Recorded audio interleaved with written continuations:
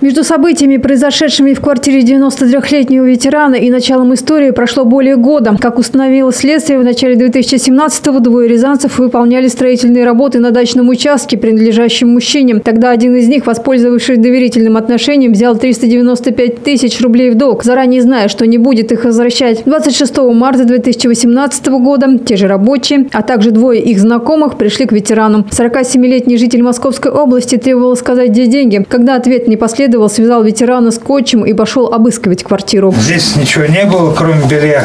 Так. Выдвинул нижний ящик. Так, покажите. Как он еще раз? Вот Так, дальше. В нижнем ящике, в самом конце там, нашел черный пакет, в котором были какие-то бумаги на ощупь через пакет. Так. То есть они уже упакованы в пакете лежали, да? Да. Так. Я решил, что это деньги.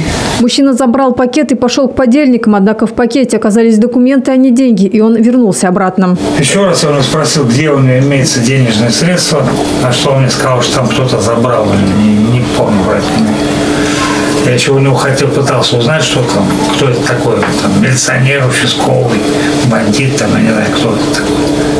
На что он сказал, я не знаю, назвал фамилию, не помню. Вот.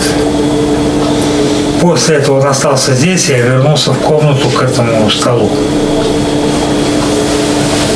Там, да? Да, там. Он, он каким образом остался сидеть? На стуле вот сидел. В столе подозреваемый нашел 1200 рублей из шкафа в ванной комнате, достал ноутбук и забрал несколько телефонов, два сотовых и стационарные, а также электронную книгу. Вину признаете? Частично. А в чем частично?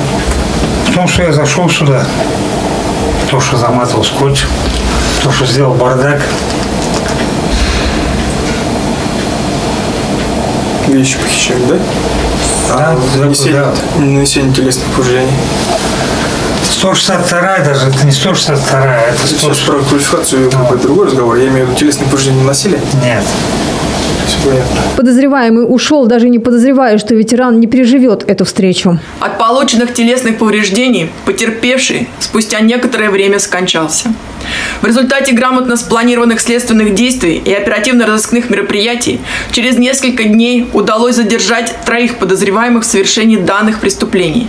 Еще один злоумышленник до настоящего времени находится в федеральном розыске. В зависимости от роли каждого, они обвиняются в совершении разбоя, грабежа, мошенничества в крупном размере и умышленном причинении тяжкого вреда здоровью, повлекшего по неосторожности смерть потерпевшего. Окончательное наказание для них определит суд в отношении скрывающегося подозреваемого материала уголовного дела вынесено в отдельное производство. Дина Ислеева, телекомпания «Город».